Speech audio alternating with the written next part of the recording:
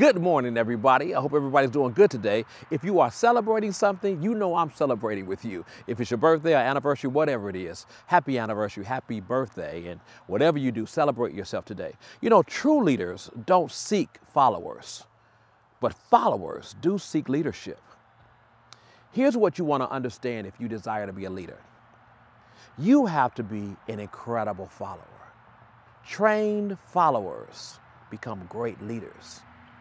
Because one thing true leaders do is they inspire, just naturally inspire.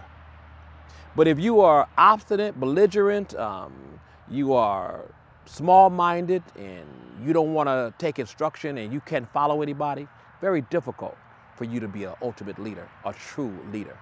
Remember that. Hey, don't forget, uh, we're making a lot of folks leaders. One of the things you need to do is have your own business. Yep, leadership can happen there for sure. Go to the description and check out the link for the hair project because we want to put a lot of people in the hair business. You want to lead in that area right there.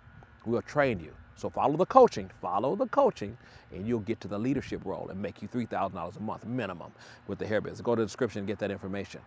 Don't forget, if you ever desire to be a leader, max out on your ability to follow true leadership.